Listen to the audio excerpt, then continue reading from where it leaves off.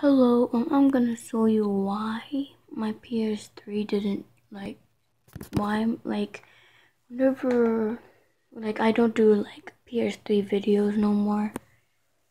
And I'll show you the reason. So it's on right now.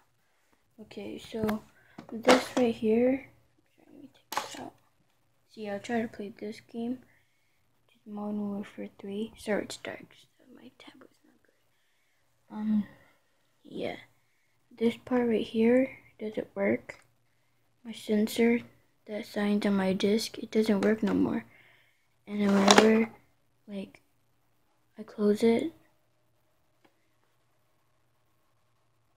it does like a weird noise whenever I put a disk in there. Like, for instance.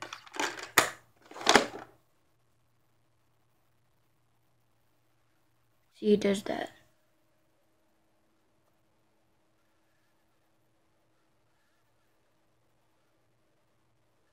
Don't know if you can hear it, but yeah. If you guys could tell me what and how to fix it, then please comment down below. Thank you.